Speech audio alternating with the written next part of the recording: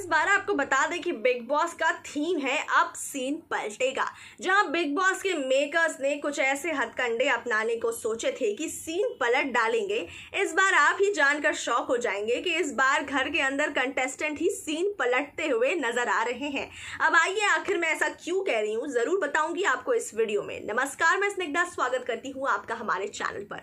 आपको बता दें कि बिग बॉस सीज़न 14 अब सीन पलटेगा थीम पर वापसी किया था, लेकिन इस बार घर के अंदर कंटेस्टेंट ही सीन पलटते हुए नज़र आ रहे हैं। ऐसे लिए इसका आपको बता दें कि ऐसे में सभी कंटेस्टेंट इस बार भाईचारे, प्रेम और सहानुभूति और आपको बता दें केयर लव इन सारे नेचर्स के थ्रू घिरे हुए हैं। जहाँ बिग बॉस के का दूर दूर तक इन चीज़ों से नाता रिश्ता नहीं था, जहाँ सभी सेल्फिश होते थे, जहाँ सभी सिर्फ़ मैं और मैं की बात करते थे, वहाँ इस बार के बिग बॉस सीज़न 14 में बिल्कुल डिफरेंट दिखने को मिल रहा है। इस बार सीनियर्स खुद से ज़्यादा दूसरों के लिए सोचते हुए नज़र आ रहे हैं। इस बार के कंटेस्टेंट्स बिल्कुल आपको बता दे कि भाईचारा सैक्रिफाइस प्रेम और केयर करते हुए नज़र आ रहे हैं। इस बार आपको बता दे कि सलमान खान भी वीकेंड के वार पर बिल्कुल शॉक्ड हो गए थे उनके टास्क के दौरान उन्हें देखकर। सलमान खान ने ज़रूर वॉट भी लगाई कि आखिर ऐसे भाईचारे को देखने के बाद पहली बार मुझे लग रहा है कि इस बार के कंटेस्टेंट ने ही सीन पलट डाला है। ऐसे शो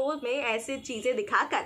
अब वाकई सही बात है, जहाँ बिग बॉस के बाकी सीज़न में हमने देखा होगा कि बाकी कंटेस्टेंट कैसे लड़ाई, झगड़े, गाली गलौज और एक तरफ़ अपने लिए लड़ते नज़र आ रहे थे, वहीं इस बार के सीज़न में शांति, प्रेम वाले भाव से सभी एक दूसरे को सपोर्ट करते हुए नज़र आ रहे हैं। चलिए मैं आपको बताती हूँ इसका लाइव एग्ज़ाम्पल जहाँ इस बार के बिग बॉस के घर के अंदर ऐसे टास्क दिए गए थे, जिससे सबसे ज़्यादा चांसेस थे कि झगड़े होंगे। घर के अंदर सबसे बड़ा टास्क था बिग बॉस के घर के अंदर हर कंटेस्टेंट्स को सिर्फ़ सात सामान देने की ही अनुमति थी। ऐसे में आपको तो पता ही है कि बाकी हर टाइम बिग बॉस के घर के अंदर लड़ाइयाँ होती थी कि मुझे सामान चाहिए, मुझे सामान चाहिए और मुझे चाहिए।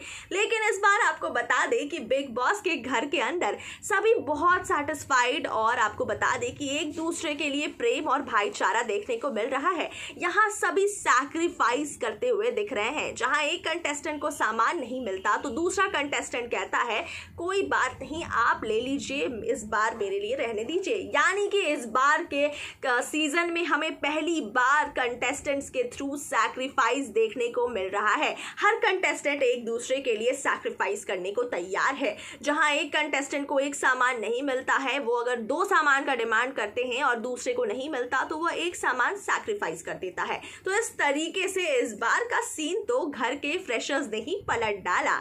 इस पर आप भी बताइए अपनी राय इस बार के बिग बॉस सीज़न 14 को लेकर हमारे कमेंट सेक्शन में और तमाम बॉलीवुड खबरों के लिए देखते रहिए हमारा चैनल